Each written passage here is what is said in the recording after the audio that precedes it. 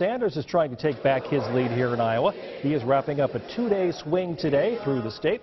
Sanders attended a church service in Waterloo and also met with volunteers at the Davenport field office. He talked to them about raising the minimum wage, free tuition, stopping ISIS, and winning the caucuses here in Iowa. Our job is, is to reach out to people, many of whom have given up on the political process. Many of whom have never participated in the political process. Go to our rallies. And you will find many, many people who say, you know, I've never voted in my life, but they're doing it now.